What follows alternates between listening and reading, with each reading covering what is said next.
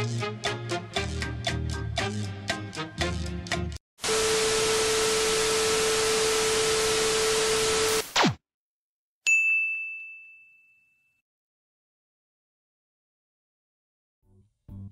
FreeBSD, permissions are assigned using three types of access, read, write and execute, with the letters R, W and X being the shorthand equivalents. The number values of R, W and X are 4, 2 and 1 respectively. The order is always RWX, and thus to enable a file to be readable, writable and executable, it has to be worth 7.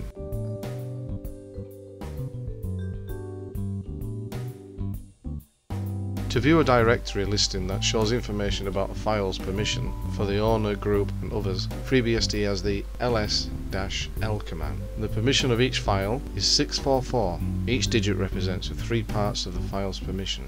The first character, the dash, tells us what the file is. It's either a regular file, a directory, a special character device, a socket or a special pseudo file device. In this particular instance, the files are regular files which could be text, audio or graphics.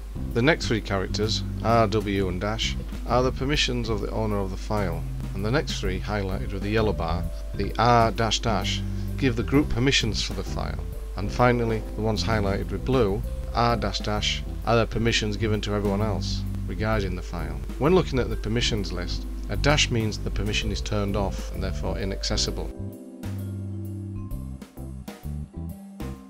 FreeBSD treats hardware devices as a file that can be opened, read and wrote to.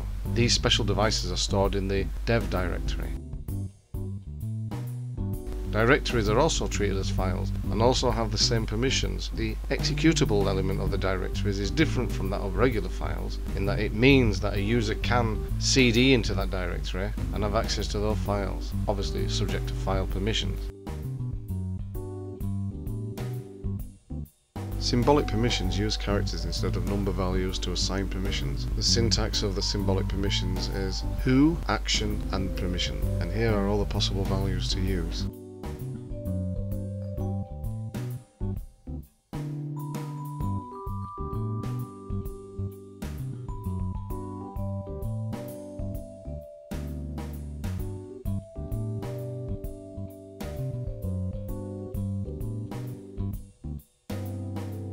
To use these file permission options you have to marry them with the chmod command. For example, to deny access to others to a file, use chmod go equals file, and to change more than one permission at the same time, use a comma to separate each change.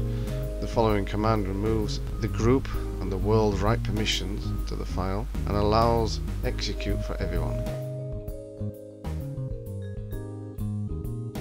FreeBSD also supports the use of file flags. These flags affect only file and not directories. File flags add an extra level of security to files and can be very powerful indeed, so much so that flags can be set to deny root the ability to delete a file. As an example, using the ch flag command, we will enable the undeletable flag on a file. To disable the undeletable flag, simply put a no in front of the sunlink flag. There are three more settings for a FreeBSD admin to consider. These are set UID, set GID and sticky. To understand these three flags, you have to comprehend the difference between real user and effective user ID. The real user ID is simply the user ID who owns or starts the process. An effective user ID is the user ID that the process runs as. The set UID may be set by prefixing a permission with the number 4, for example chmod 4755.